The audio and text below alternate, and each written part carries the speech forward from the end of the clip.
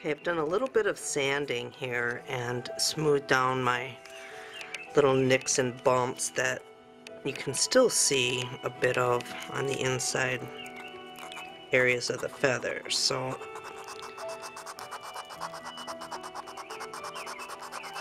before you completely thin down a feather, it's important to make sure you've got the contour and shape correct. So, and you'll also find that the size of a feather will grow while you're carving.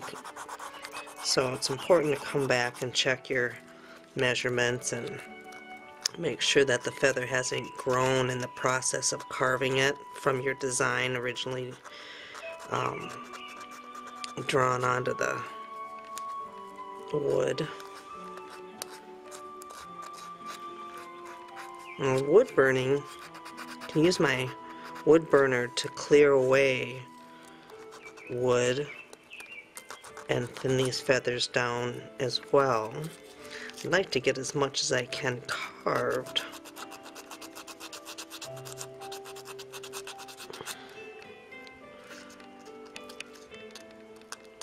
And having the patience to actually finish the sanding process will pay off a hundredfold later on.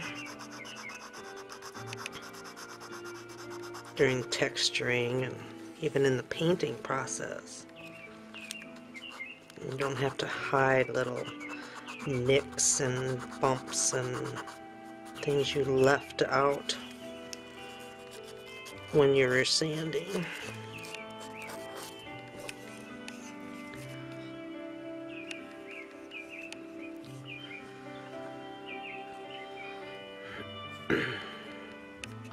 right now I'm inspecting all my other little feathers.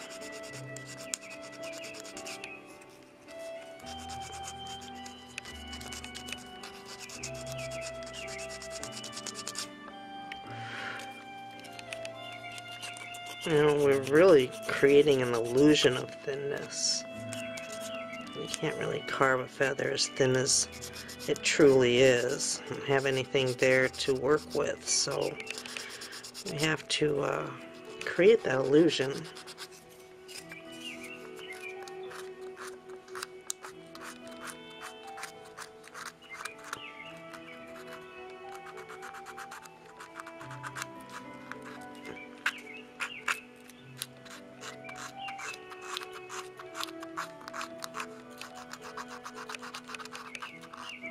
So I get all these little anomalies sanded out. Then I can take a look at how thin the feather really is. Because by removing these anomalies, I'm thinning the feather out. So, so you don't run out of wood. Better to get all of this taken care of before you do the final thinning on the final sanding because that too after you even thin the backside you'll need to do some sanding there as well. So you have to account for that wood that will be removed during the sanding process.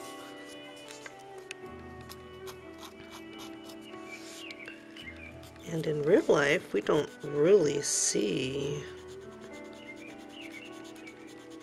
unless there's a color change or a texture change uh, where one feather starts and another one stops. They're so thin. So again, that's this illusion that we're going to be, I'm going to be trying to create in this demonstration. With the basic sanding completed, I'm going to do a little bit more thinning. Uh, that sanding cleaned out some of these areas on the in-betweens.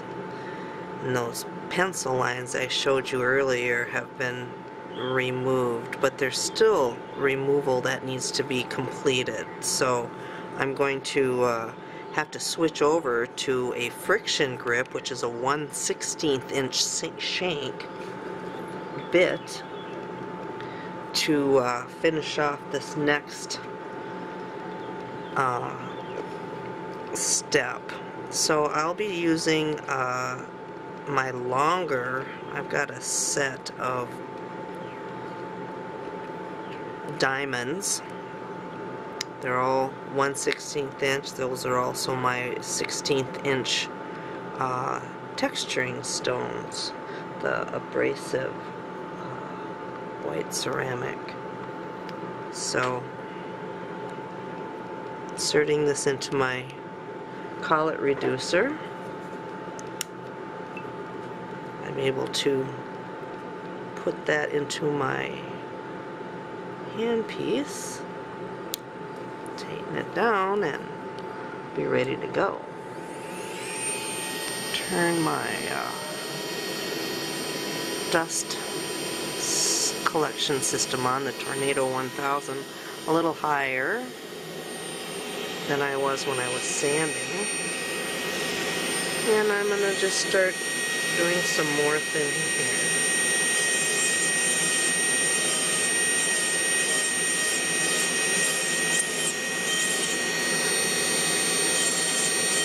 I'll be able to come back with this very small ball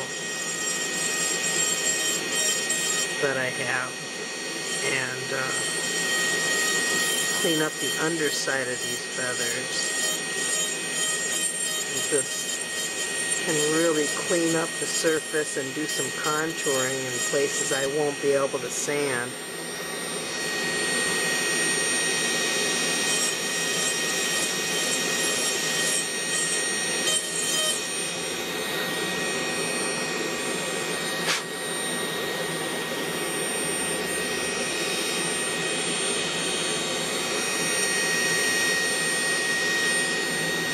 My light right go.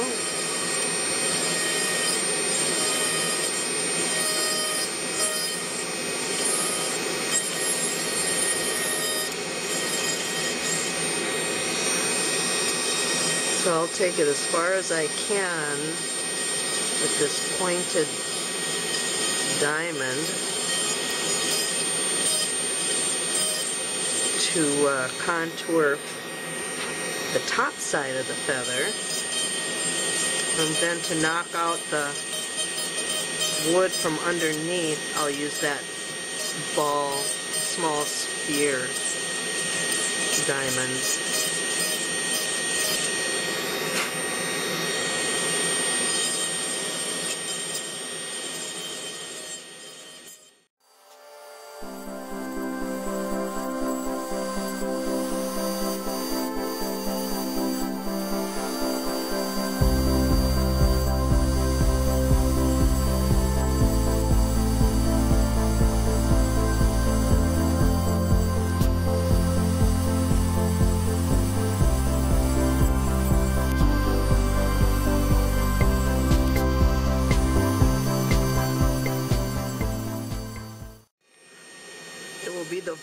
In between these feathers that will really uh, serve to this look of thin feathers. You gotta be careful. Easy to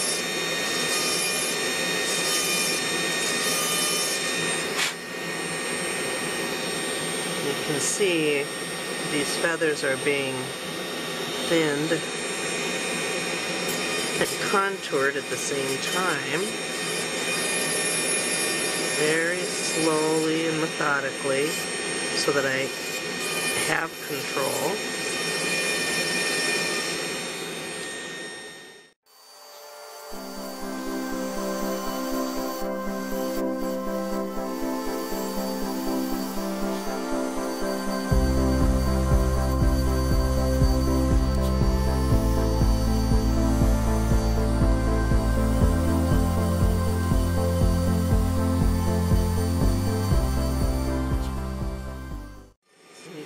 Dig around. You don't want to keep lifting up and going down. You want to try and make really long, clean strokes, pushing down on the feather below because that one needs to be very smooth looking and contoured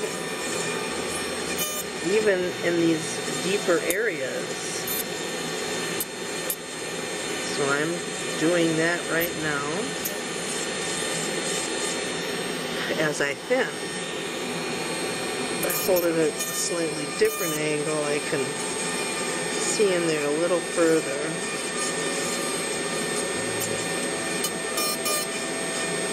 And I don't want to push too hard because I'm going to come back with that sphere and clean out the underside.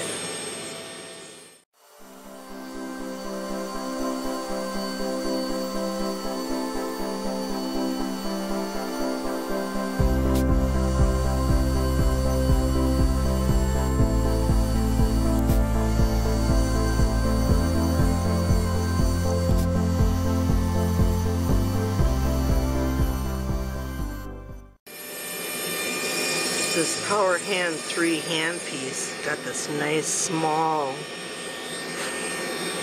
end on it and it allows me to lay that bit down nice and flat where a wider handpiece would impede that. This also fits in my nice small hand, nicely in my small hand see how I'm slowly pinning down these feathers.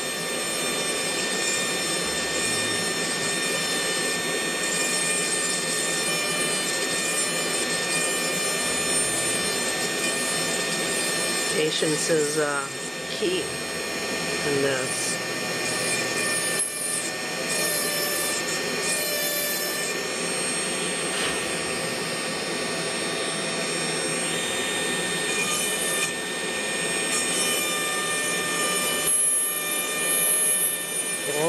Keeping in mind what's going on in the feather above it and the one below it. you can't lose sight of this.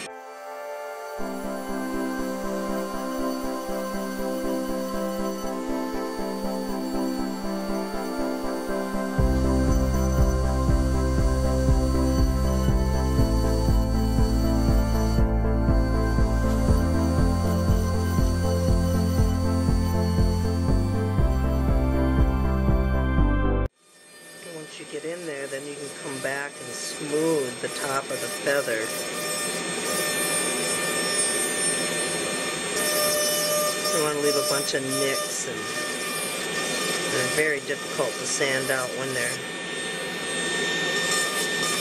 in this area. That is not very reachable, even with this point.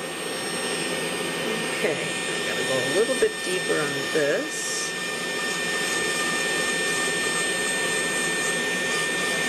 And I'll be using the sphere in this area when I come back.